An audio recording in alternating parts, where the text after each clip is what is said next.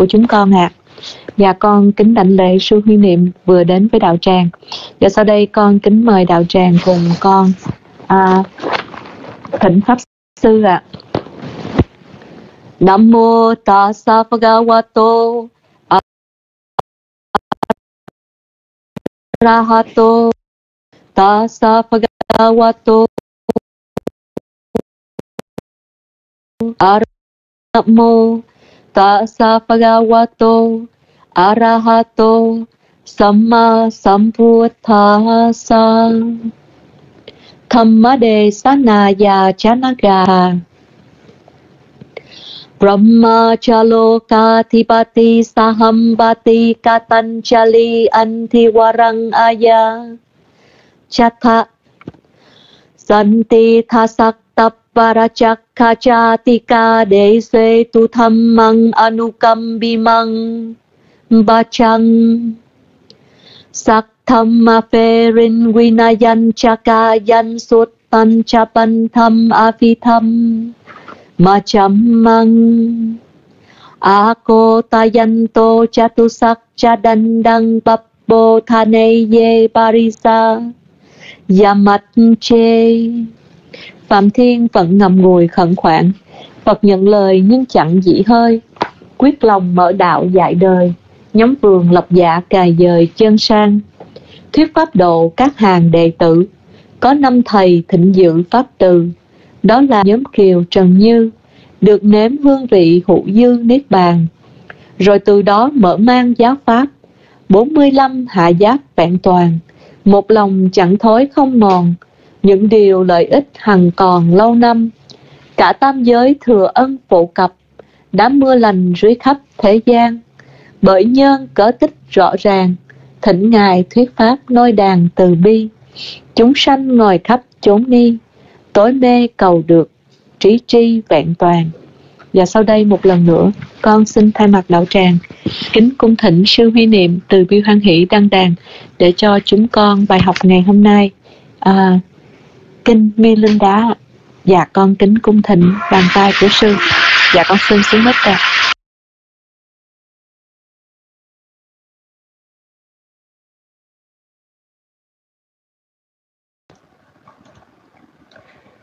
Xin kính thánh lễ để được thành tâm cùng chị cùng đức chào quý vị trong lớp học. Bài học hôm nay uh, về câu về những cái hiện tượng dao động của địa cầu và trong tầng đức vua Milinda thắc mắc là ở trong kinh Đức Phật ngài thuyết về tám nhân duyên đưa đến sự dao động của quả địa cầu. Tuy nhiên à, y cứ vào tiền thân của bồ tát à, Visantara đó thì à, sự bố thí của ngài số tám nhân duyên mà đã được đức phật ngài thuyết trong kinh khi mà ngài giác ngộ. À, vậy thì à, trường hợp này là như thế nào? Nó có vẻ giống như nó không có phù hợp. À, chính vì thế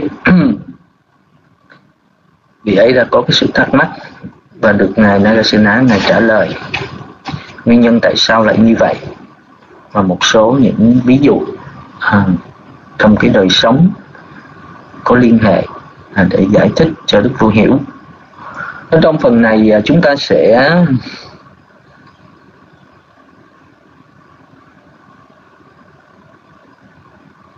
tìm hiểu về một cái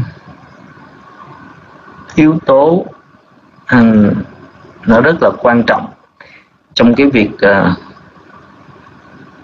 thực hành cái pháp bố thí. Bởi vì gần đây sư có một vài những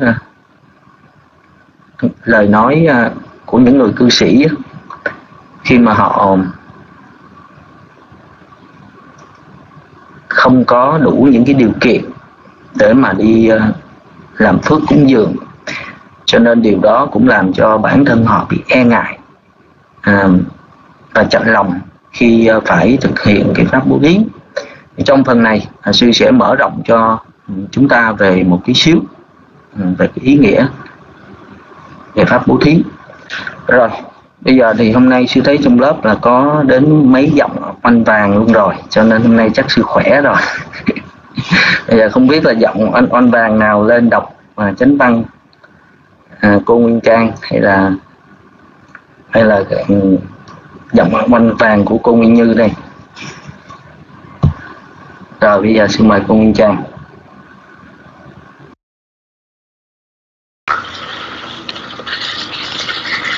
À, Nam Mô Bích Tha Giá. Dạ con Nguyên Trang Dạ một lần nữa con kính đảnh lễ.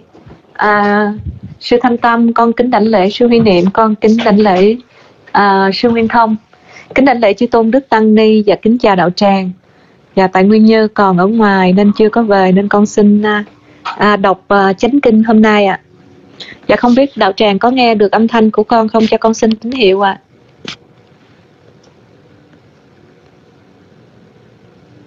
Hello. Dạ, dạ cảm ơn chị Từ Mẫn. Dạ con kính uh, dạ con kính cảm ơn sư Minh Thông, à, sư Huy Niệm ạ. À.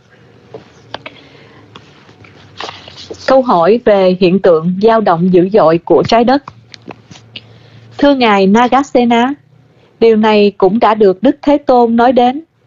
Này các từ khu, có tám nhân, tám duyên này đưa đến hiện tượng dao động dữ dội của trái đất đây là lời nói không thể thiếu sót. Đây là lời nói đầy đủ. Đây là lời nói không thay đổi. Không có nhân thứ chính nào khác đưa đến hiện tượng dao động dữ dội của trái đất. Thưa Ngài Nagasena, nếu có nhân thứ chính khác đưa đến hiện tượng dao động dữ dội của trái đất, Đức Thế Tôn cũng sẽ nói đến nhân ấy. Và thưa Ngài Nagasena, bởi vì không có nhân thứ chín nào khác đưa đến hiện tượng dao động dữ dội của trái đất. Vì thế, đã không được Đức Thế Tôn đề cập tới. Và có nhân thứ chín này đưa đến hiện tượng dao động dữ dội của trái đất, được thấy là đại địa đầu đã rúng động bảy lần vào lúc cuộc đại thí đang được trao ra bởi đức vua. À, về quê San, quê Santara. Thưa Ngài Nagasena, nếu chỉ có 8 nhân, tám duyên đưa đến hiện tượng dao động dữ dội của trái đất, như thế thì lối đại địa đầu đã rúng động 7 lần vào lúc cuộc đại thí đang được trao ra bởi đức vua Vesantara và là sai trái. Nếu đại địa đầu đã rúng động 7 lần vào lúc cuộc đại thí đang được trao ra bởi đức vua Quesantara. Như thế thì lời nói chỉ có 8 nhân 8 duyên đưa đến hiện tượng dao động dữ dội của trái đất cũng là sai trái. Câu hỏi này cũng có cả hai khía cạnh. Vi tế, khó tháo gỡ, gây tâm tối và sâu xa. Nó được dành cho Ngài Điều này không thể trả lời bởi người nào khác có trí tuệ nhỏ nhoi, ngoại trừ bậc có sự giác ngộ như là Ngài vậy. Tâu Đại Vương, điều này cũng được Đức Thế Tôn nói đến. Này các tùy khu, có tám nhân, tám duyên này đưa đến hiện tượng dao động dữ dội của trái đất. Còn đại địa đầu đã rúng động bảy lần vào lúc cuộc đại thí đang được trao ra bởi đức vua Quê Sanh Tá Rá. Điều ấy là bất thường, đôi lúc có xảy ra, được loại ra khỏi tám nhân, vì thế không được tính vào tám nhân. Tâu Đại Vương, giống như ở thế gian, chỉ có ba loại mưa được tính là mưa, thuộc mùa mưa, thuộc mùa lạnh và cơn mưa rào. Nếu có cơn mưa khác không thuộc vào ba loại này mà đổ mưa, thì cơn mưa ấy không được tính vào các loại mưa đã được công nhận và chỉ được xem là cơn mưa sái mùa. Tâu Đại Vương, tương tự y như thế, việc đại địa đầu đã rúng động bảy lần vào lúc cuộc đại thí đang được trao ra bởi đức vua Quesantara. Tara. Điều này là bất thường, đôi lúc có xảy ra, được loại ra khỏi tám nhân, việc ấy không được tính vào tám nhân. Tâu Đại Vương, hoặc là giống như 500 con sông chảy ra từ núi Hy Mã Lạp. Tâu Đại Vương, trong số 500 con sông ấy, chỉ có 10 con sông được tính vào viện tích đếm các con sông, tức là sông Gan, Ganga, Giáp Yamuna, Achiratwati, Sarafu, Mahi, Santhu, Thú. Sarasati, Quejawati, Vitatha, Chan Chandaphaga. Các con sông còn lại không được tính vào diện tích. Đếm các con sông. Vì lý do gì các con xây các con sông ấy không có nước thường xuyên? Tâu Đại Vương tương tự y như thế, việc đại địa đầu đã rúng động bảy lần vào lúc cuộc đại thí đang được trao ra bởi đức vua Vesantara. Điều này là bất thường, đôi lúc có xảy ra được loại ra khỏi tám nhân, việc ấy không được tính vào tám nhân. Câu đại vương Hoặc là giống như các quan đại thần của đức vua thì cả trăm người, hai trăm người, trong số những người ấy chỉ có sáu là được tính vào việc tính đếm các quan đại thần, tức là tướng quân, quan tế tự, quan sự án, quan thủ khố, quan giữ lọng, quan giữ gươm. Chỉ những người này được tính vào việc tính đếm các quan đại thần. Vì lý do gì?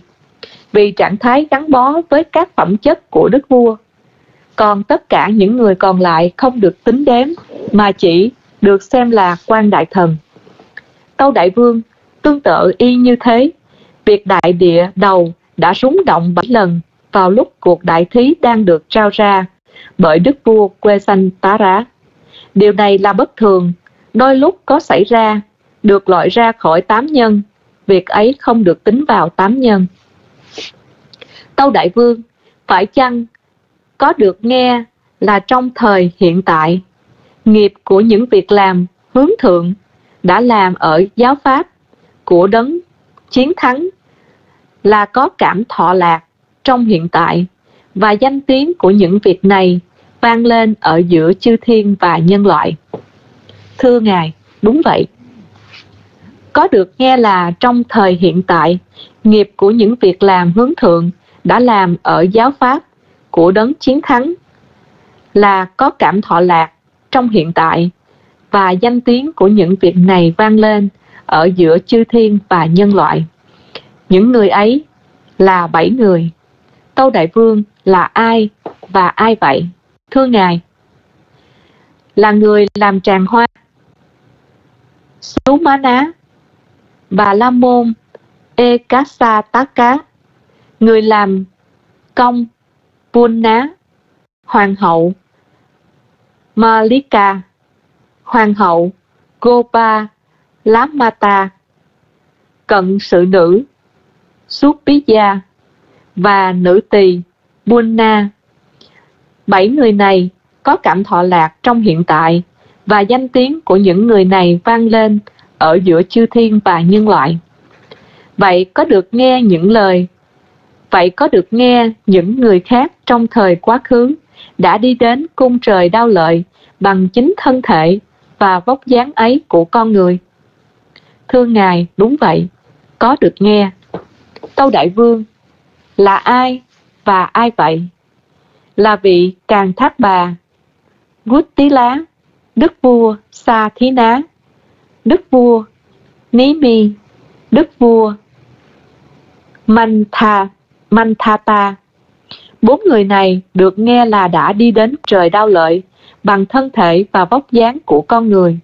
Được nghe rằng việc đã làm tốt hoặc đã làm xấu đã được làm lâu lắm rồi. Tâu Đại Vương phải chăng Ngài đã được nghe trước đây vào thời quá khứ xa xăm hoặc trong thời hiện tại xa xăm, đại địa cầu đã rúng động một lần hoặc hai lần hoặc ba lần, khi vận thí của người tên như vậy đang được trao ra? Thưa Ngài, không có. Tâu Đại Vương, tôi đã có sự truyền thừa, sự thành tựu, sự thuộc lòng kinh điển, sự lắng nghe, sự học tập, năng lực, sự mong mỏi lắng nghe, sự vấn hỏi, sự hầu hạ các vị thầy. Tuy nhiên, tôi cũng chưa từng được nghe trước đây đại địa đầu đã rung một lần, hoặc hai lần, hoặc ba lần, khi vật thí của người tên như vậy đang được trao ra, hoặc trừ việc bố thí cao quý của vị vua, kiệt xuất, quê sanh tá rá. Tâu Đại Vương vào khoảng giữa của hai vị Phật là Đức Thế Tôn Kassapa và Đức Thế Tôn Cai Giá và Đức Thế Tôn Sắc, sắc Giá Muni. Nhiều cố tí năm vừa quá, cách thức tính về, cách thức tính đếm đã trôi qua, ngay, cả ngay cả trong khoảng thời gian đó, tôi cũng không có nghe là đại địa đầu đã rúng động một lần, hoặc hai lần, hoặc ba lần, khi vật thí của người tên như vậy đang được trao ra. Tâu Đại Vương, đại địa cầu không rúng động với sự tinh tấn chừng ấy, với sự nỗ lực chừng ấy. Tâu Đại Vương bị chồng chất gánh nặng về đức hạnh, bị chồng chất toàn bộ gánh nặng về sự trong sạch, hành động và đức hạnh trong khi không thể nâng đỡ. Đại địa cầu lay động, rúng động, chuyển động. Tâu Đại Vương giống như khi chiếc xe tải bị chồng chất nặng quá, quá tải, thì các ổ trục và các vành bánh xe bung ra, trục xe bị gãy. Tâu Đại Vương tương tự y như thế, bị chồng chất toàn bộ gánh nặng về sự trong sạch, hành động và đức hạnh. Trong khi không thể nâng đỡ, đại địa cầu lay động, rúng động, chuyển động. Tâu Đại Vương hoặc là giống như bầu trời bị bao phủ bởi sự chuyển động của gió và nước, sự trồng chất bởi gánh nặng về lượng nước dồi dào, do trạng thái bị đưa đẩy bởi cơn gió mạnh nên gầm rú, gào thét, rống lên. Tâu Đại Vương tương tự y như thế, bị chồng chất cánh nặng lớn lao và dồi dào về năng lực bố thí của đức vua quê sanh tá rá trong khi không thể nâng đỡ, đại địa cầu động, rúng động, chuyển động. Tâu Đại Vương, bởi vì tâm của vua quê sanh tá rá, không vận hành cho do tác động của tham, không vận hành do tác động của sân, không vận hành do tác động của si, không vận hành do tác động của ngã mạng, không vận hành do tác động của tà kiến, không vận hành do tác động của phiền não, không vận hành do tác động của suy tầm, không vận hành do tác động của ganh ghét. Khi ấy, nó vận hành phần nhiều do tác động của sự bố thí. Làm cách nào những người ăn xin chưa đi đến có thể đến gần ta và những người ăn xin đã đi đến có thể lận nhận lãnh theo như ý muốn và có thể được hài lòng. Sự bố thí của chủ tịch của chủ tể và tâm ý đã được khẳng định một cách thường xuyên, liên tục. Tâu Đại Vương, tâm ý của Đức Vua Quê Sanh Tá Rá đã được khẳng định một cách thường xuyên, liên tục trong 10 trường hợp, ở sự huấn luyện, ở sự bình lặng, ở sự nhẫn nại, ở sự thu thúc, ở sự cưỡng chế, ở sự áp chế, ở sự không giận dữ, ở sự không hãm hại, ở sự chân thật, ở sự trong sạch. Tâu Đại Vương đối với Đức Vua quê sanh tá rá, thì sự tầm cầu về dục đã được dứt bỏ, sự tầm cầu về hữu đã được yên lặng. Chỉ riêng sự tầm cầu về phạm hạnh là được đạt đến một cách sốt sắng. Tâu Đại Vương Đối với Đức Vua quê sanh tá rá, thì sự bảo vệ bản thân đã được dứt bỏ, sự bảo vệ người khác đã được đạt đến một cách sự, một cách sốt sắng. Làm cách nào những chúng sanh này có thể hợp nhất? Không bệnh, không tập bệnh, không tài sản, có tuổi thọ. Tâm ý như vậy vận hành một cách thường xuyên.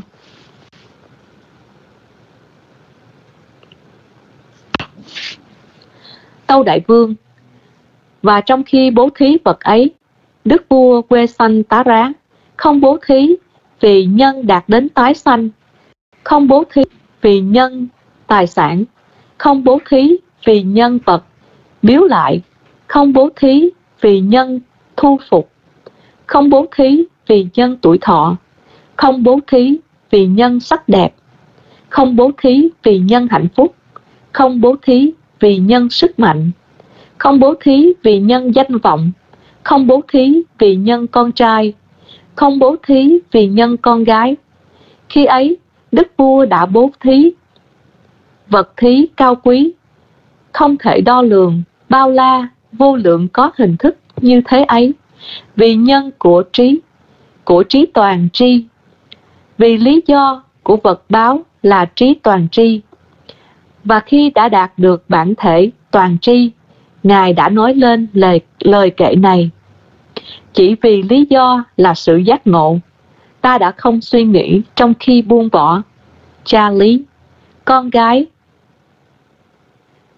canh nha chít chít ta, canh nha chí na và hoàng hậu Mati Trung Thủy.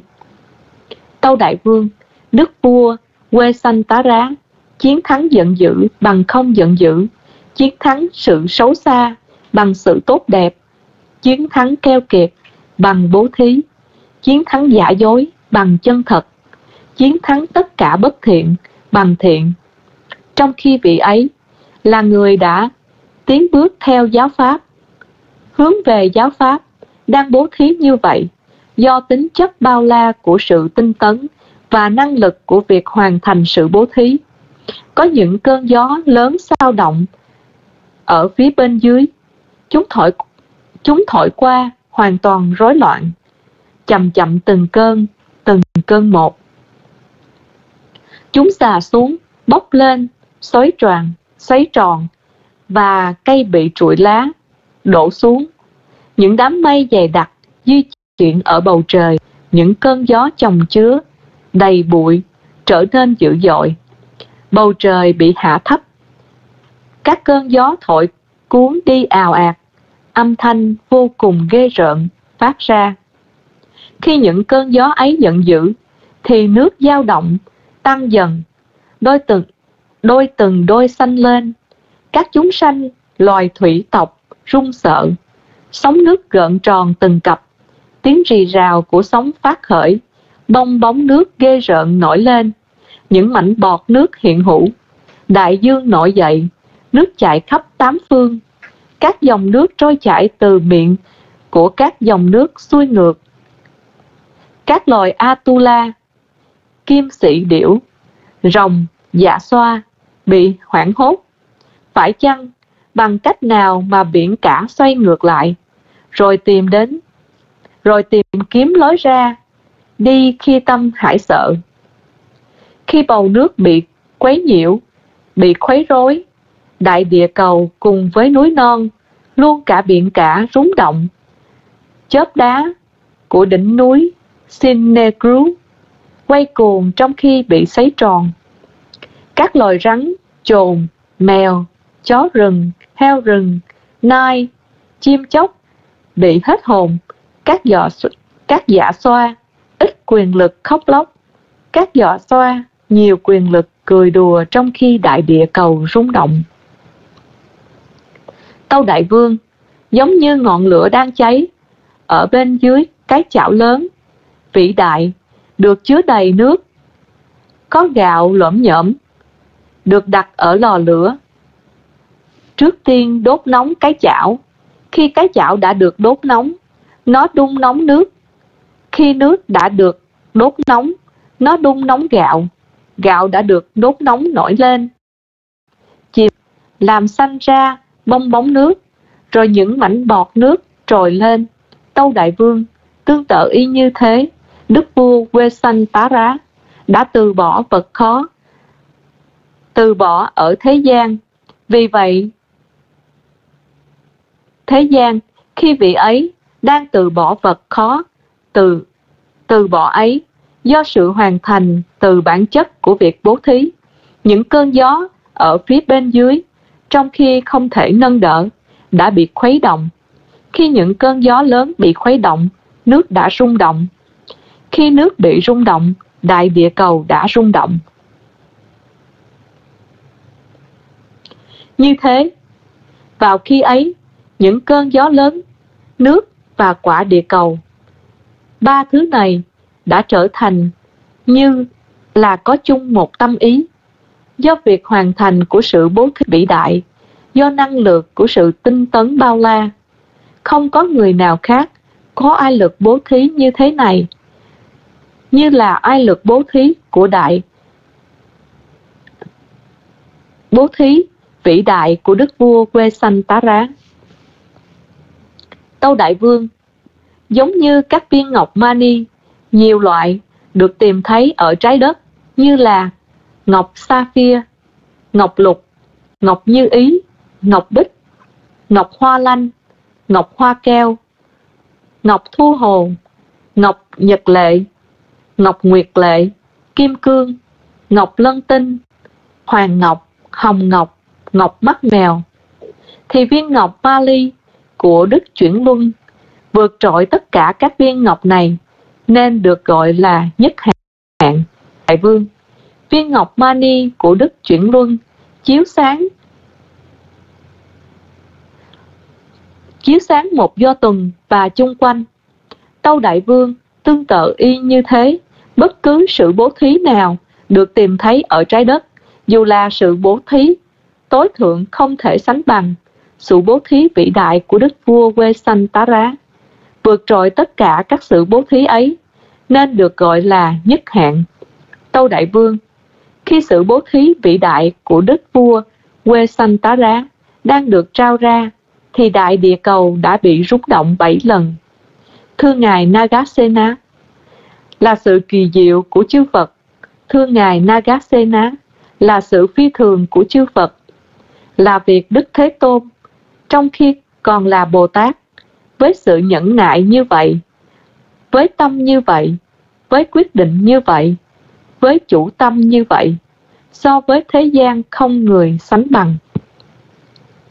Thưa ngài nagasena, sự nỗ lực của các đức bồ tát đã được phô bày và các pháp hoàn hoàn hảo của các đấng chiến thắng đã được chiếu sáng còn nhiều hơn thậm chí trong khi các ngài đang thực hành đức hạnh. Cho đến bản thể tối thượng của đức như lai là được hiển hiển hiện ở thế gian, luôn cả chư thiên thưa ngài nagasena, thật tốt đẹp thay, giáo pháp của đức chiết thắng đã được tán dương, và các pháp toàn hảo của đức chiến thắng đã được tỏa sáng nút thắt của học thuyết của các giáo chủ tài giáo đã được cắt đứt. Bầu nước ở điều tuyên thuyết của ngoại đạo đã được đập bể. Câu hỏi thâm sâu đã được làm rõ. Bụi rậm đã được làm không còn bụi rậm.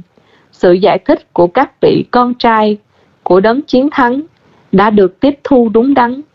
Hỡi vị ưu tú cao quý của đám đông, Xin Ngài hãy chấp nhận điều ấy là như thế. Câu hỏi về hiện tượng dao động dữ dội của trái đất là thứ tư. Dạ, dạ kính thưa sư, con đã đọc xong à, phần chánh kinh. Và sau đây con à, kính thỉnh sư Huy Niệm ạ. À. Và sa thú con kính dân nít lại cho sư ạ. À. Dạ con xin xuống nít ạ. À.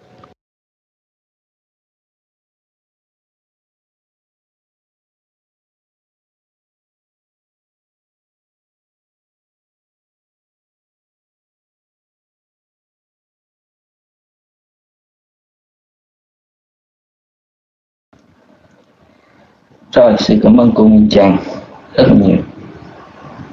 Uhm, bây giờ chúng ta sẽ làm lễ tam bảo rồi mình sẽ đi vào bài học ngày hôm nay.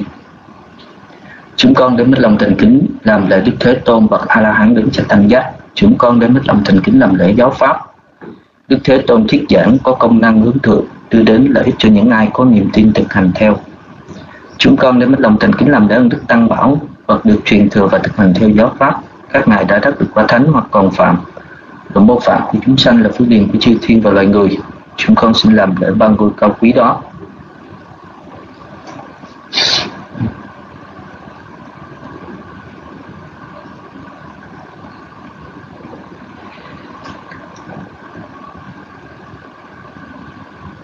ở trong phần đầu tiên, chúng ta thấy có nhắc đến Đức Phật Ngài à, đã từng giảng về tám nhân duyên khiến cho đại địa cầu rung động. Thì à, sự việc này được Đức Thế Tôn ngày nói đến trong cái tình huống là khi Ma Vương à, khi ác nga thiên tử đến thỉnh Đức Phật hãy nhập vô dư niết bàn. Lúc bây giờ đức thế tôn này đã từ chối. Và nói rằng là khi mà chưa có à, những đệ tử à, tỳ kheo tỳ kheo ni chưa trở thành những vị đệ tử, đệ tử tinh thông có huấn luyện có những sự tin tưởng. Và khi nào chưa có những người nam cư sĩ hay là nữ cư sĩ có được sự huấn luyện tinh thông và tin tưởng đạt được sự an ổn khỏi những khổ ách thực hành pháp và tùy pháp thì lúc đó ngài chưa có nhập niết bàn vô dự niết bàn. Sau đó ma vương mới nói rằng là bạch đức thế tôn hiện giờ đã có đầy đủ à, những điều như là ngài đã nói rồi. Đức thế tôn ngài mới nói tiếp. Em nói là khi mà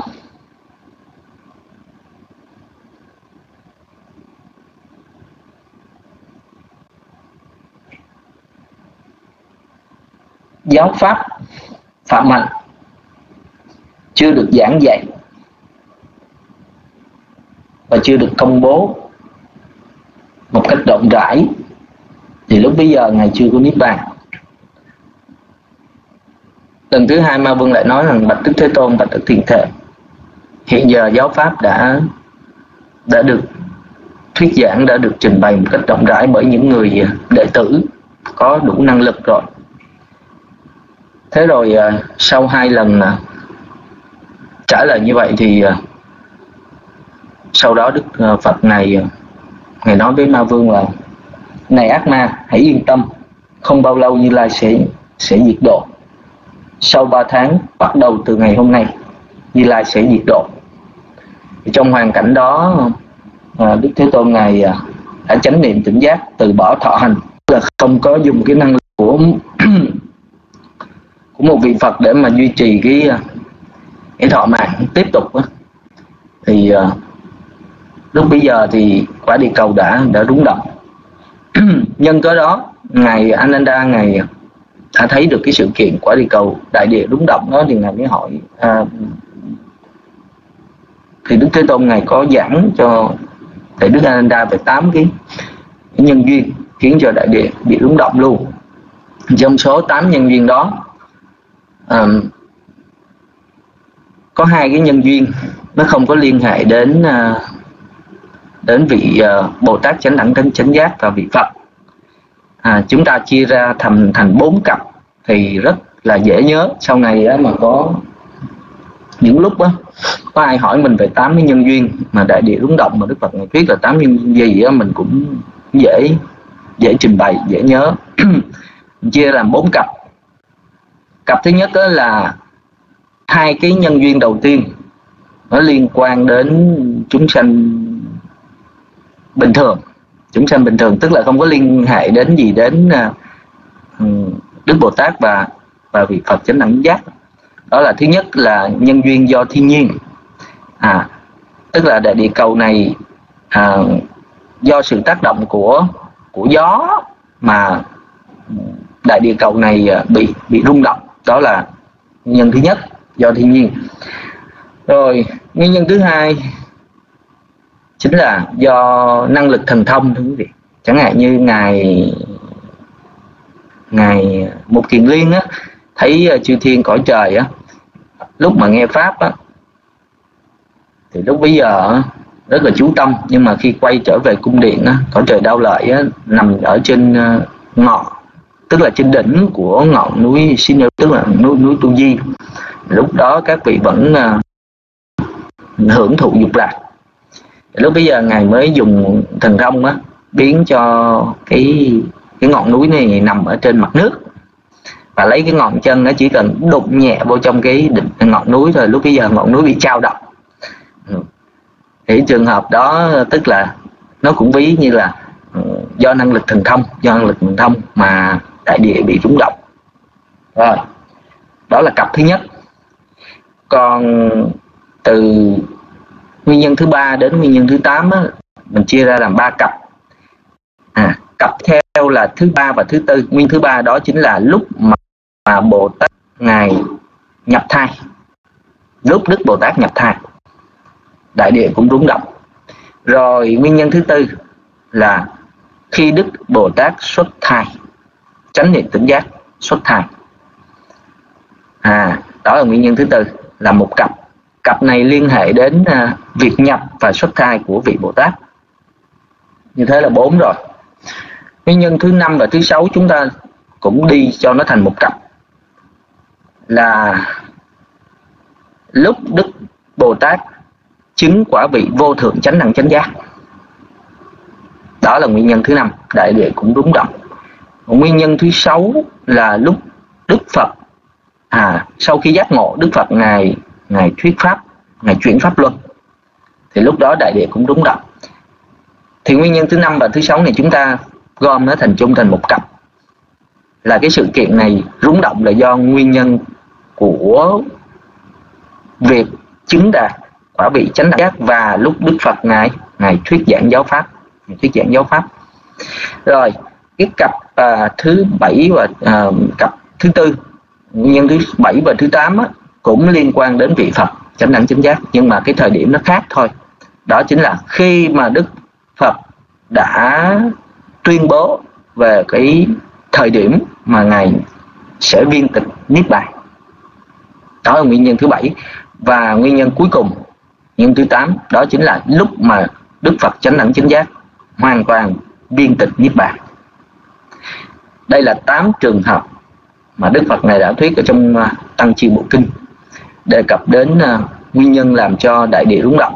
Như vậy thì uh, chúng ta ờ, dễ nhớ đúng không? Sư nghĩ rằng sư phân ra như vậy thì quý vị dễ nhớ.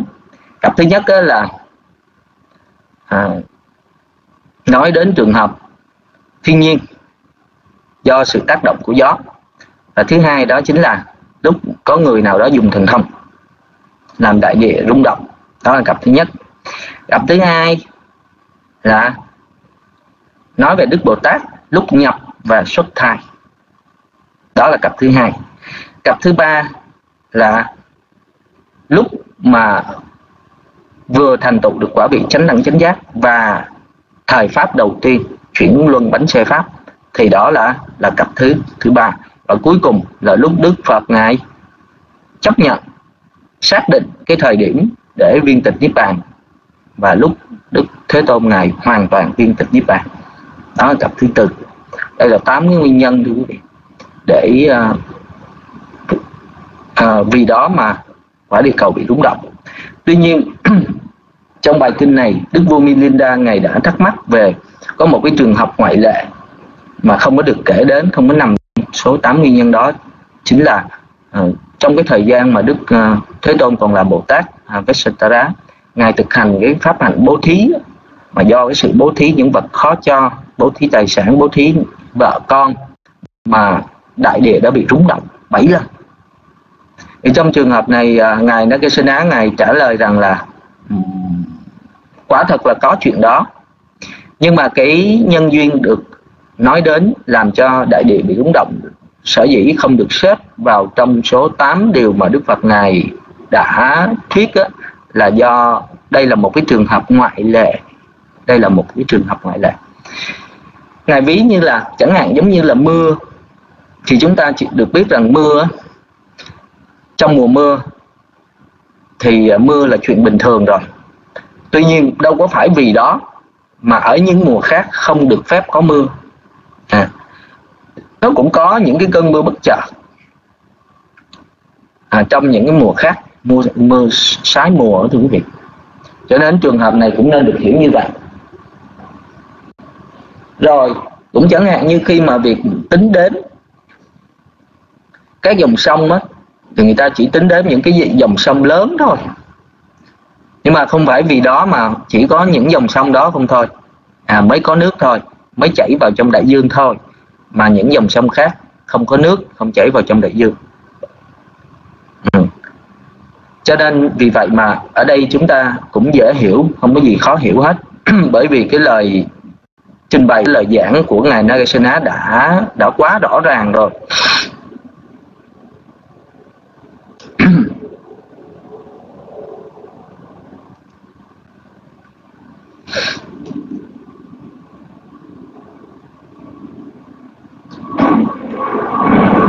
Lời trình bày của ngài Nagasena đã quá rõ.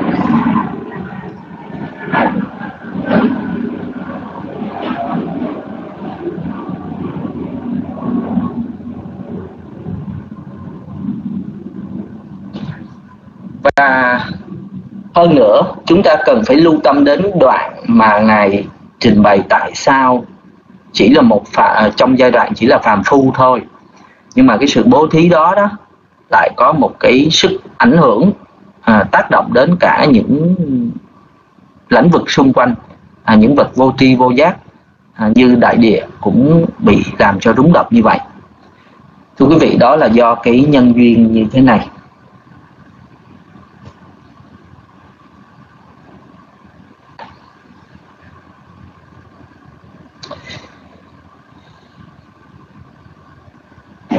Ở trong hành trình mà hướng đến sự giác ngộ phải trải qua những thời điểm thứ nhất là phải có nguyện vọng thứ hai là cái sự dứt khoát sự dứt khoát tức là uh, tuyên bố ra lời nói thưa quý vị.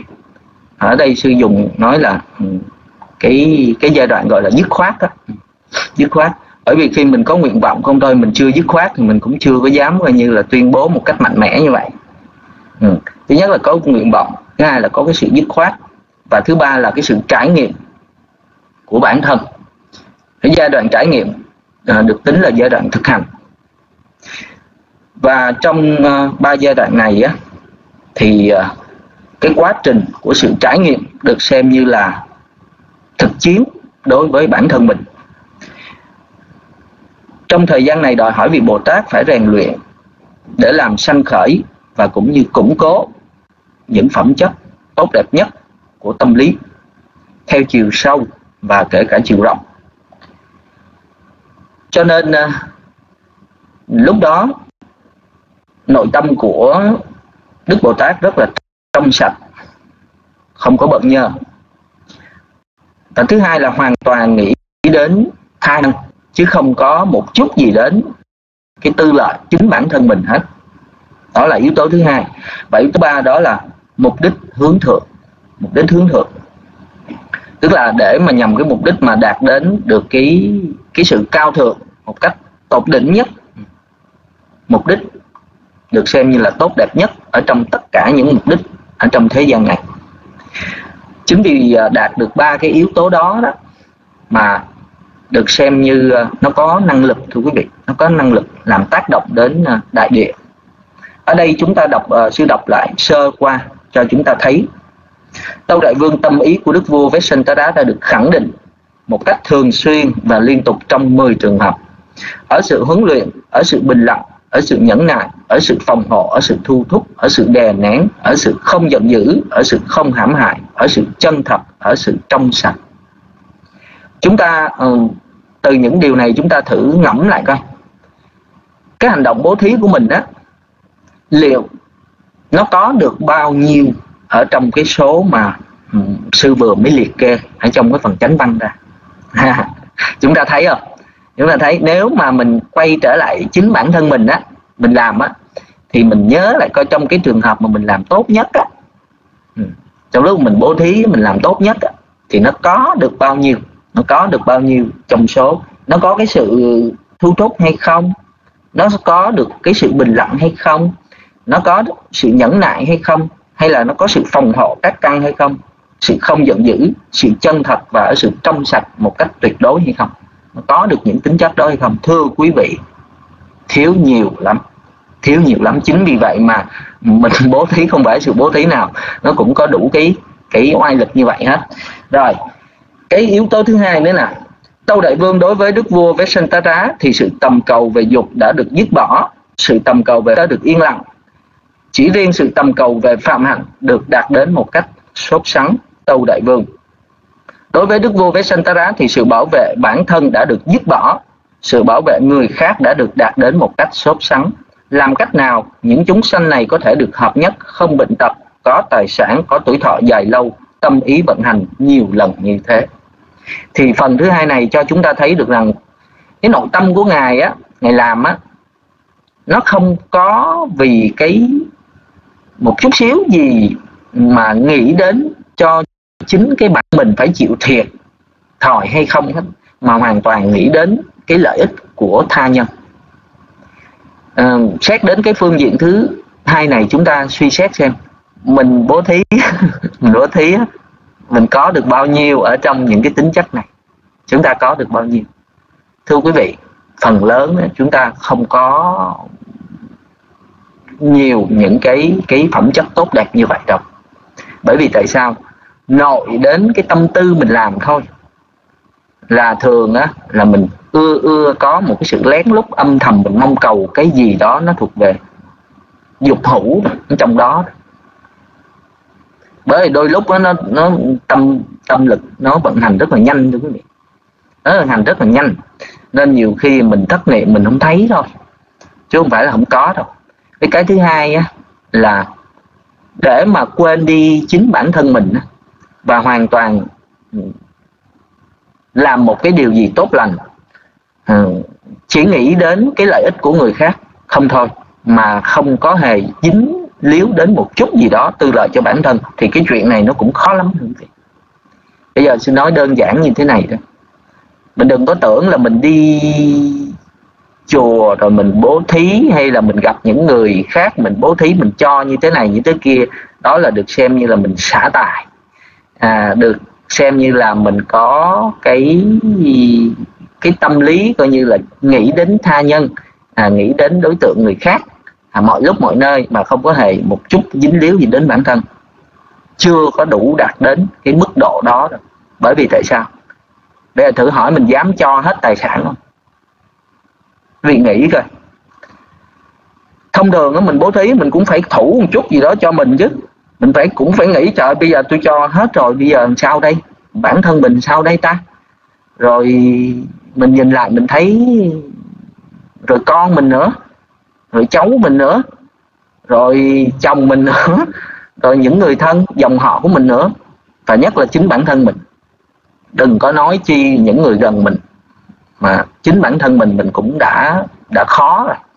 Cho nên chính vì vậy mà cái sự mà cho hết tài sản đó quý vị, kể cả những thứ mà mình được xem như là báu vật ừ, và vợ yêu thương vợ rất là chung thủy nha. Và đức bồ tát không có hề như là chẳng hạn như mà vợ chồng mình mà sống lộn xộn không có chung thủy hay là ưa bỏ bê trách nhiệm gì đó mình bỏ mình cho mình cho phế đi thì cái chuyện đó nó, nó còn dễ làm hơn. Tuy nói dễ làm thôi chứ cũng không phải là, là, là làm dễ đâu. Còn này đằng là ngược lại là con cái rất là ngoan tốt và rất là trung thủy rất là tốt đẹp nhưng mà dám dứt bỏ dám dứt bỏ dám từ bỏ. Kinh khủng như vậy. Chính vì thế mà tất cả những cái cái hành động của ngài hoàn toàn hướng đến lợi ích của tha nhân. Không hề giữ một chút gì đó về cái lợi ích cho chính bản thân mình. Đây là cái chuyện thứ hai nguyên nhân thứ hai. Ở nguyên nhân thứ ba đó chính là do cái cái, cái mục đích mục đích của ngài bố thí á ngài làm thiện á ngài bố thí những vật khó cho là vì cái mục đích được xem như là tối thượng nhất. Mục đích được xem như tối thượng nhất. Mình dùng cái chữ mục đích này đôi khi nếu nói đến trong đời chúng ta thấy hình như nó vẫn có cái gì đó mà nó hơi hơi chút gì đó nó vướng bận. Bởi vì mục đích dù nó như thế nào đi nữa thì mình quen hiểu theo cái cái cái cái, cái cách thông thường cái mục đích của ngài á, là đạt đến à đạt đến cái chỗ hoàn toàn không còn bất cứ một cái tư tưởng gì hết thuộc về mong một mỏi một cái mục đích gì khác. Nói như vậy không biết chúng ta hiểu không ta? Thường á cái mục đích á, là nó xuất phát từ một cái gì đó mình đến mình nghĩ rằng mình làm cái đó để mình có được cái gì đó. Nhưng mà ngài làm cái này á để mà đạt đến một cái trạng thái giống như là hoàn toàn không còn cái gì hết rũ bỏ một cách hoàn toàn một trăm phần trăm hơn nữa ở cái cấp độ mà hướng đến sự hướng thượng như vậy á nó cái trình độ tâm lý nó cũng khác hơn so với những vị bồ tát thinh văn hoặc là độc giác nữa. chúng ta uh, quay trở lại một chút là quý vị biết rằng uh, cái trường hợp mà đức bồ tát thinh văn á hôm nay có máy bay nó bay cho nên uh, lúc nào mà có ồn thì sư sư sẽ ngưng lại sư không có nói.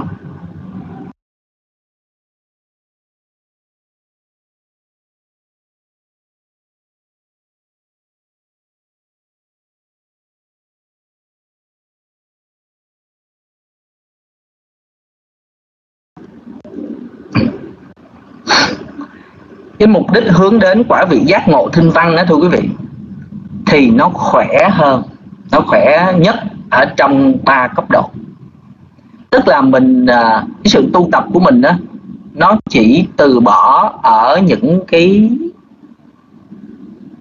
cái vật thuộc về cái mức đầu tiên thôi. Nó không có chạm đến những cái vật khó cho.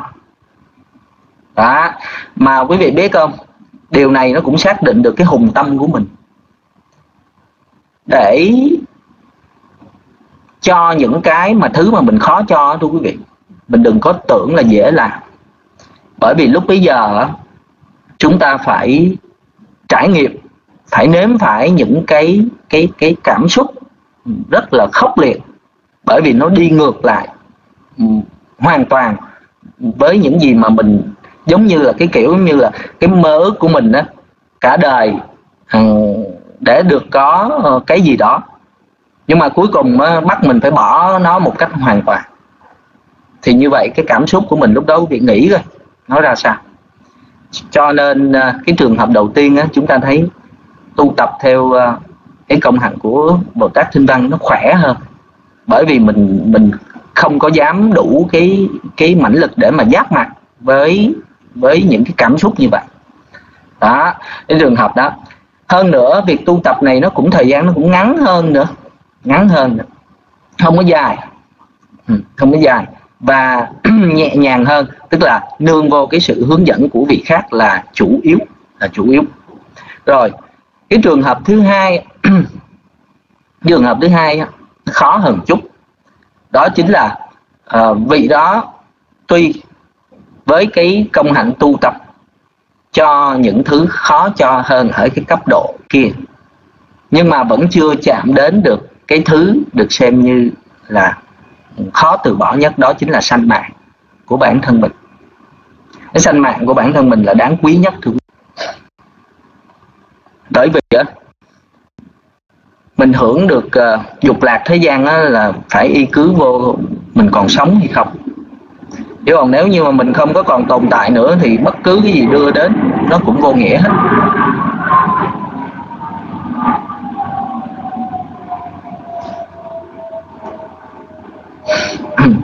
Và ở trường hợp à, thứ hai này á là vị ấy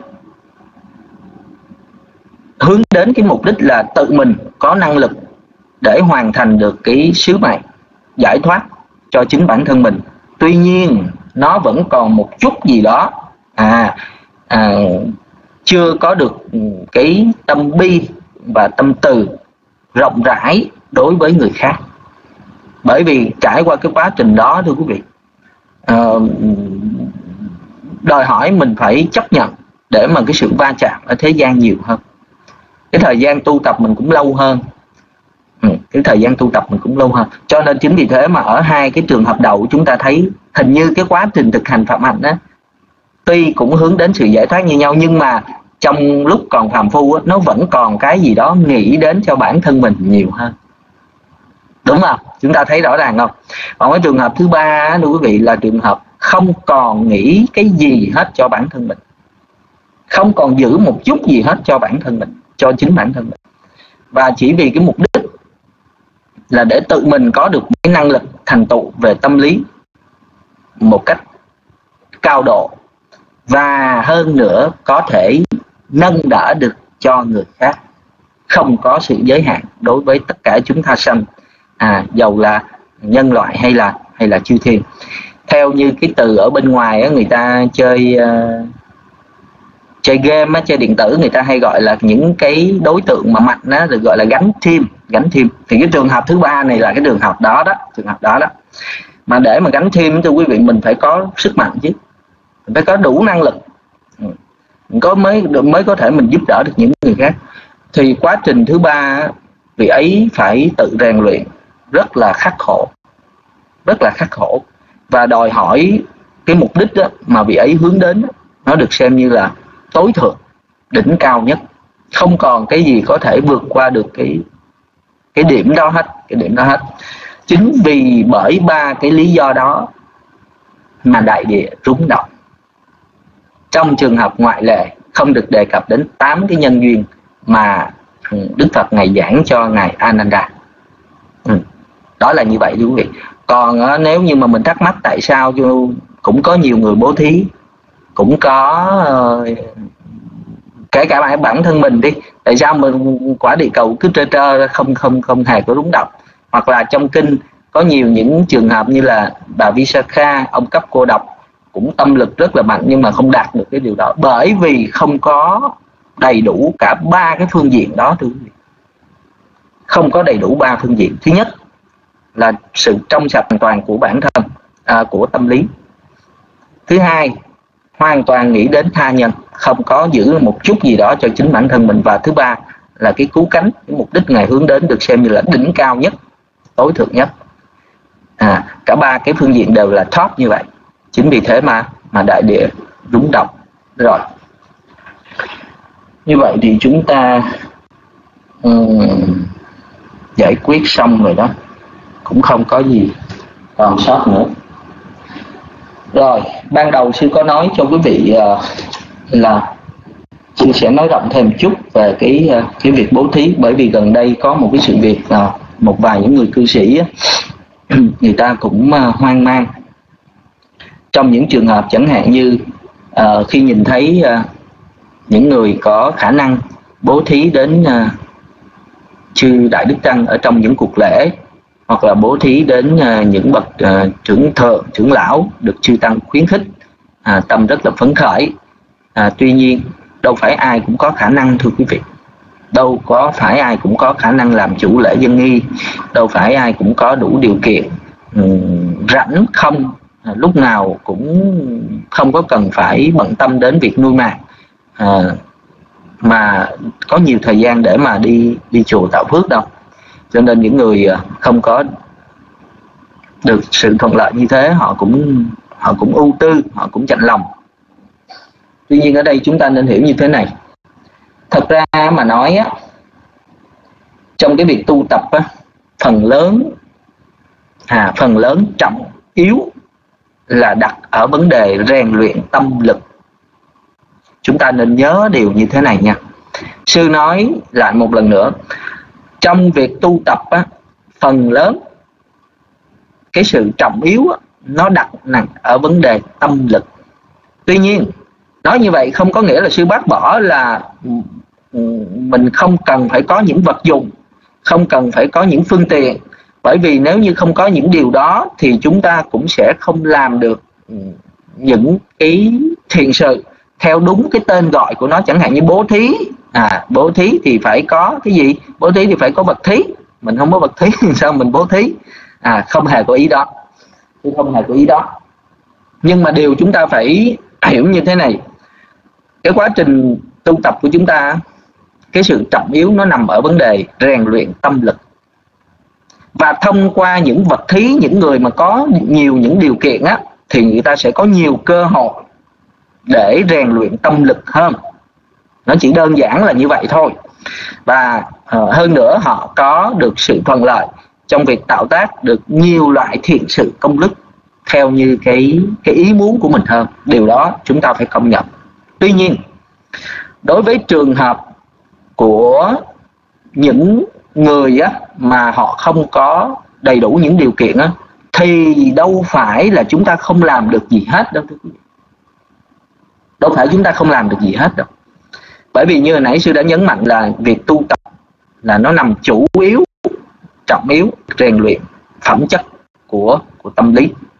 Chúng ta vẫn có thể làm những chuyện à, lấy đối tượng để mà rèn luyện cái nội tâm của chính mình. Chẳng hạn như mình đi chùa thì cái bậc thí của chúng ta đó tuy nó không có được uh, sang trọng nó không có được thù thắng như những người khác nhưng mà với cái việc khéo áp dụng à những cái tính chất tốt đẹp của nội tâm biết đâu được cái sự thí của chúng ta đôi khi nó thù thắng hơn cả những người người ta bố thí nhiều phương tiện chúng ta nên nhớ chuyện đó nha.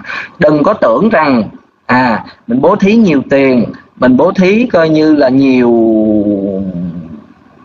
người à, bố thí như thế này như thế kia mà cho rằng à, điều đó là phước nhiều hơn những người người ta bố thí ít. Chưa chắc. Bởi vì tại sao? Bởi vì việc bố thí à, trong một thiện pháp á, à, nói theo à, cái sự vận hành nó có hai một là đối tượng. Một là đối tượng. Hai là tâm lực. Nếu như mà chúng ta có được sự thành tựu thuận lợi hơn người khác về bậc thí hoặc là về đối tượng, nhưng mà tâm lực của mình cùi bắp à tâm lực của mình cùi bắp, thì nó cũng không hơn nổi đâu. Nó cũng không hơn nổi đâu, thưa quý vị. Chính vì thế mà ờ, nếu như mà mình hiểu biết á, mình khéo á, vận dụng những tài sản vốn có của chính bản thân mình để mà mình làm một cái cái thiện sự công đức thì lúc bây giờ nó vẫn tốt đẹp hơn. Cho dù thậm chí mình không có bố thí, mình không bố thí gì hết, nhưng mà mình chỉ đi chung thôi. Và mình ngồi đó à mình nhìn theo, dõi theo. Cái cuộc lễ nó diễn ra và khởi tâm tùy hỷ à tùy hỷ không có một chút gì hết với sự ganh tị đối với người khác, thì lúc bấy giờ nó vẫn được xem như là thiện sự công đức vậy thú nó đâu phải nhất thiết là phải cúng cái gì đó mới được hay không cho nên chính vì thế mà đối với những trường hợp khi những người á ờ, chúng ta không có đủ điều kiện á, chúng ta nên nhớ rằng ở trong một cái công việc gì đó, người nào cũng có thể làm tùy theo cái điểm mạnh của chính bản thân mình cái quan trọng là mình có biết vận dụng những gì mà mà mà bản thân mình mình có thể làm hay không. Cái quan trọng nó nằm ở chỗ đó thôi. Còn cái chuyện mà mình ngồi đó mà mình cứ đòi hỏi mình phải được như người ta thì ở đâu ra có. Thứ nhất là mình phải biết chấp nhận cái thực trạng của chính bản thân mình. Và thứ hai, bây giờ trong cái hoàn cảnh thực trạng như vậy, mình phải vận dụng tốt tất cả những ưu điểm của chính bản thân và như thế thiện sự công đức vẫn được hình thành. Cho dù thậm chí mình không có làm gì hết mà mình ở một mình mình thôi. Cái người ở một mình mình á, mà cứ suốt ngày suy nghĩ lung tung lang tan chuyện tầm bậy bạ, tâm phóng dật này nọ, thì nó cũng không có phước. Nhưng mà cái người ở một mình á, mà người ta khéo vận dụng những cái khả năng, chẳng hạn như khả năng về chánh niệm tỉnh giác, khả năng về thu thúc lục căn khả năng về suy tưởng uh, về pháp à về pháp vân vân. Thì lúc bấy giờ dù ở một mình như vậy vẫn được xem như là có công đức có công đức. Cho nên đâu có nhất thiết đâu không nhất thiết. Chính vì thế mà um, đối với trường hợp à, à, những người cư sĩ á, mà khi họ bị vướng phải những cái ưu tư như vậy á à, sư đã giúp đỡ họ bằng cái cách giải quyết vấn đề chỉ đơn giản là họ không hiểu thôi. Họ không hiểu thôi. Cho nên phần lớn khi chúng ta thuyết pháp à, chúng ta phải biết à, nhìn một cách đồng đều đối với tất cả chúng sanh. Chứ mình đừng có nên tập trung vào một cái đối tượng nào quá. Sư á, thì ngược lại sư hay có cái thói quen. Là sư hay để ý lưu tâm đến những người người ta thiếu thốn hơn còn những người nào mà dư giả quá à những cô nào hoặc là những nam cư sĩ nào mà được các ngài, các thầy thương yêu, chăm sóc nhiều quá, lúc bây giờ sư bớt bớt để để ý lại. Bớt để ý lại. Bởi vì để ý chi? Dư thừa. Nó dư thừa. Nó thừa thải. Đó. Mình hãy nên để ý đến những con người người ta khó khăn. À mình giúp đỡ họ, nâng đỡ họ. Thì lúc bây giờ à, nó sẽ đồng đều hơn thưa quý vị nó đồng đều. Cái điều này á, thật ra không có nói chết được cố định được cái nào là tốt cái nào là xấu. Tùy theo cái cách suy nghĩ của mỗi vị thôi chứ không có chê bai ai hết. Vì trường hợp á, à, những người cư sĩ người ta có nhiều công đức á, thì ít nhiều cũng được chư tăng phần lớn lưu tâm hơn. Bởi vì à, nghĩ tưởng đến cái ân đức hộ trì tam bảo thường xuyên à, và liên tục mà nhiều lần của những người đó. Ừ. thì cái đó nó cũng là một điều đúng đắn thôi. Nhưng mà tuy nhiên chúng ta phải đừng có quên để tâm đến những người mà người ta người ta không có được người ta không được ưu ái người ta không có được để tâm nhiều. Bỏ lên nhiều quá mình giống như là cân mà không đều quá như vậy nó cũng nên đâu nó cũng nên. Đó vì vậy mà thật sự à, mà nói á à, lúc mà mình làm thiện á thực ra đừng bao giờ mà chúng ta đòi hỏi quá đáng. Bởi vì cái cương vị phước báu của mỗi người nó nó khác nhau. Mình không thể nào mình đòi hỏi được như người ta. Chúng ta phải nên nhớ hai điểm thôi. Chúng ta phải nên nhớ hai điểm. Thứ nhất là việc rèn luyện nội tâm tu tập hướng đến chánh giác phần lớn trọng yếu đặt ở việc rèn luyện tâm lực mà đã nói đến rèn luyện tâm lực là bất cứ những đối tượng như thế nào, dù là thô tế xa gần, chúng ta vẫn có thể tận dụng được để phát triển đời sống nội tâm của mình. Quan trọng là mình có biết cách hay không thôi. Đó là vấn đề thứ nhất. Vấn đề thứ hai á, là chúng ta phải biết chấp nhận cái thực trạng của bản thân. Và rồi mình tận dụng hết những khả năng, những vốn liếng, những điểm mạnh, những ưu điểm của chính bản thân mình để mình tu tập. Nếu như mà mình có ưu điểm về sức khỏe à người khác người ta có ưu điểm về vật chất thì người ta bố thí, xong rồi người ta đi về. Mình có ưu điểm về sức khỏe thì mình mình không có bố thí được thì mình dọn dẹp chỗ ngồi của chư tăng, mình lau chánh điện, chỗ thờ phật này nè đó, cái đó nó cũng là một cách vậy thưa quý vị. Nó cũng là một cách. Rồi, mình không có ưu điểm về sức khỏe à mình có ưu điểm về về tài sản thì lúc bây giờ mình bố thí về về tài sản. Mình vận dụng cái cái mạnh của chính bản thân mình. Hoặc là những người người ta không có tài sản người ta không có được cái sự thường xuyên nhiều thời gian để mà phục vụ cho chùa chiền chư tăng. Nhưng mà người ta có cái sự khéo léo. À người ta có sự khéo léo thì người ta sẽ bố thí bằng cái cách người ta sẽ phụ giúp người khác cắm bông, trang trí, chánh đê và vân vân. Đó. Thì nó vẫn là công đức như thường nó vẫn là công đức như thường cho nên chính vì thế mà chúng ta đừng có nên đặt nặng về một thứ quá. Chẳng hạn như cứ suốt ngày cứ vật chất hoài cứ suốt ngày cứ tiền bạc hoài mà nhức đầu. Bởi vì việc tu nó không nằm ở chỗ đó không thôi, mà nó nằm ở nhiều ở nhiều cái điểm khác nữa. Nhiều điểm khác nữa quan trọng là chúng ta có biết vận dụng. Chúng ta có biết vận dụng hay không còn những người mà người ta không có ưu điểm này kia thì người ta có ưu điểm về nhan sắc chẳng hạn thì mình sẽ bố thí bằng cái mình sẽ làm thiện bằng cách chẳng hạn như mặc áo dài rồi cầm bông rồi đi dẫn đoàn nhiễu phật gì đó để cho người khác quay phim chụp hình gì đó. Thì đó, thì đó cũng tốt thưa quý vị. Ừ, điều đó cũng tốt. Rồi rồi như vậy thì xong. Nay chúng ta học tới đây vừa phải lẽ rồi. Phần còn lại thì à, xin gửi cho lớp học nam mô bích thầy giá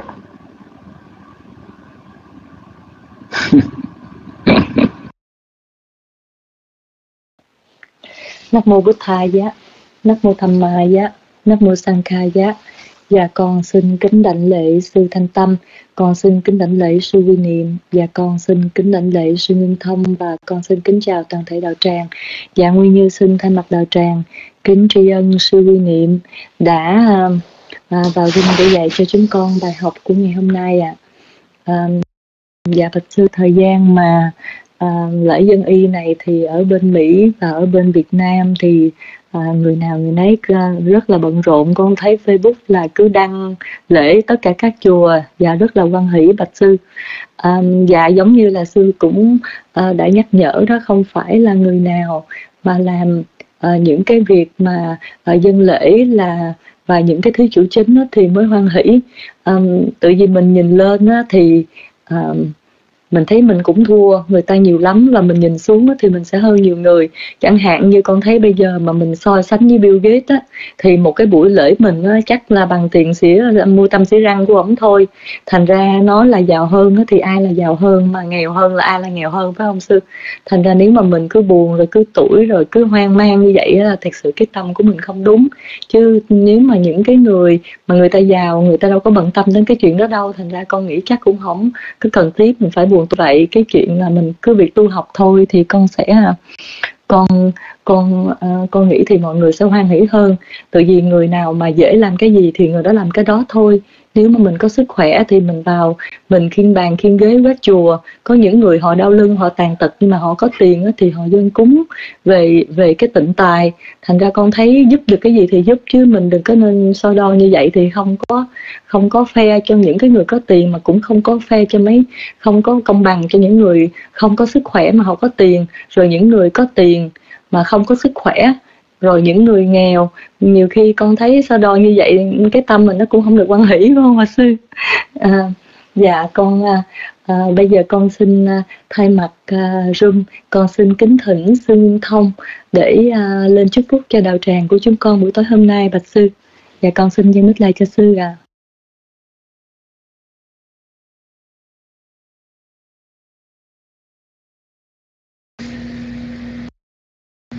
Mangalang Ratkang Dibata Sababu Pave Nasada Pavang Tu Te Pavat Mangalang Ratkang Dibata Sabanu Pave Nasadu Te Pavang Tu Te Pavatu Sapa Mangrat Kang Tu Sapa De Bata Basang Kha Nu Nasada So Thi Pavang hằng tu tê tất cả báo hằng có đến người cầu siêu thiên hộ trì cho người do nhờ đức của chư Phật do nhờ qua đức pháp do nhờ qua đức của chư tăng.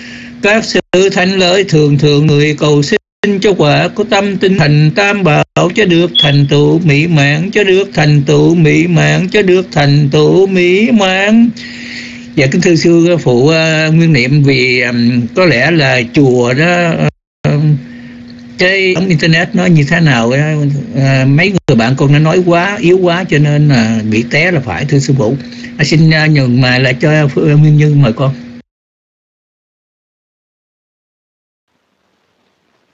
Nam mô Bụt Tha Giá và con xin thay mặt đạo tràng kính tri ân sư Nguyên Thông đã chúc phúc cho đạo tràng của chúng con buổi tối hôm nay ạ. À. Và bây giờ thời gian cũng vừa phải lẽ, Nguyên Như xin kính mời chư vị cùng với Nguyên Như hồi hướng sau khi nghe Pháp ạ. À. Dạ đề wa ta san ti vi ha ra wa si ni thủ bê kha rê bồ thi kha rê ta hình ta hình ta tham ma đa nê na pha văn, tu pu chi ta, xóa thân ca đoàn tê, tha vi ha ra măng đà lê thế ra cha mắt cha na wa ca cha phân kha vô sa ra mi ca đa na ba tiêu ba sa ca ga ma cha đề sa ni ga ma cha isa ra sampa na futa sukhita pha văn tu te cha la bu cha ye bi cha, an da sam pha wa san se da cha, ta ta vô pa pa ti ca. Ni ya ni căng tham ma wa rang pa tân cha te sam be bi dung kha, sa ka ron tu sang kha yang tha tu chi rang sát tăng, tham mô, tham man tha ra, cha bung ga la, sang ko ho tu sa mang go wa an tha ya cha hi ta ya cha am rang kha tu san tham mô sam bê bi tham ma cha ri no vu thân sam ba bu này ya ma tham ma ri yam ba quê đi tê ti đằng nô nha ti nằng hô tu, su khi ta hon tu nha ta yo i đằng nô nha ti nằng hô tu, su khi ta hon tu nha ta yo i đằng nô nha ti nằng hô tu, su khi ta hon tu nha ta yo đẳng quá nề buồn nhằn à sa vắc khá già, quá hằng hồ tu quá nà gá tề cà lê, do sự phước báo mà chúng con đã trong sạch làm đây xin hồi hướng đến thân bằng quyến thuộc đã quá vãng. Cầu mong cho các vị ấy hằng được sự yên vui. Do sự phước báo mà chúng con đã trong sạch làm đây hãy là món duyên lành để dứt khỏi những điều ô nhiễm ngủ ngầm nơi tâm trong ngày vị lai. Và Nguyên Như xin kính mời chư vị Phật tử trở lại vào Rung Nguyên Như Kỳ Viên vào ngày thứ năm và cũng là ngày sư quy niệm sẽ lại tiếp tục dạy cho chúng ta về kinh ni Valanda rất là hay ạ. À. Nam mô Bổn sư Thích Ca Mâu Ni Phật. Nguyên Như xin trân trọng kính chào toàn thể chư vị.